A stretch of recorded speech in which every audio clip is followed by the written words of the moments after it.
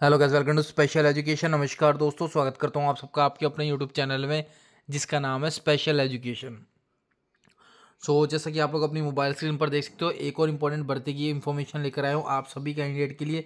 Delhi high court में आपकी vacancies निकाली गई है जिसमें जो एज मांगी है, अठारह से लेकर बत्तीस साल के बीच में अगर आपकी एज है तो आप लोग अप्लाई कर सकते हो. तो चलिए सारी चीज़ें वन बाय वन करके डिटेल में बताया हूँ, आपको सीधा ऑफिशियल नोटिफिकेशन की तरफ़ ले चलता हूँ। बट उससे पहले अगर आप लोग चैनल पर पहली बार विज़िट कर रहे हो और अभी तक आपने चैनल को सब्सक्राइब नहीं किया तो फटाफट सब्सक्राइब करके बेल आइकन को प्रेस कर लो, ताकि आने वाली सारी इंपॉर्टेंट अपडेट्स आप लोगों को अपनी मोबाइल स्क्रीन पर मिलती रहे। सो चलिए दोस्तों, अब हम स्टार्ट करते हैं बिना कोई टाइम वेस्ट किए।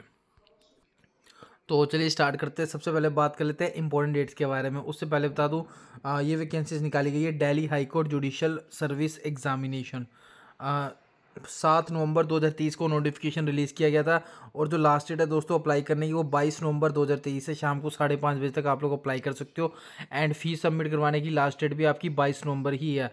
10 दिसंबर को आपका प्री का एग्ज़ाम होगा इसमें।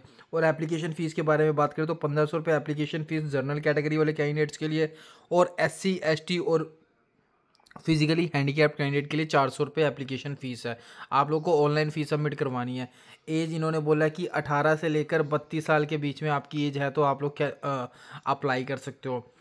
टोटल आपकी फिफ्टी थ्री पोस्ट है। यहाँ पे इन्होंने कैटेगरी वाइज बाइफर्केशन कर रखा है पोस्ट का। और क्वालिफिकेशन में इन्होंने बोला कि अगर आप लोगों ने बैचलर्स डिग्री कर रखी है लॉ में मतलब एलएलबी कर रखी है फ्रॉम एनी रिकोनाइज यूनिवर्सिटी तो आप लोग अप्लाई कर सकते हो।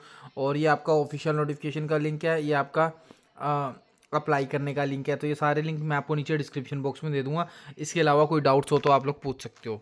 सो धन्यवाद दोस्तों, आज के लिए बस इतना ये इंपॉर्टेंट इन्फॉर्मेशन आप लोग के साथ शेयर करनी थी।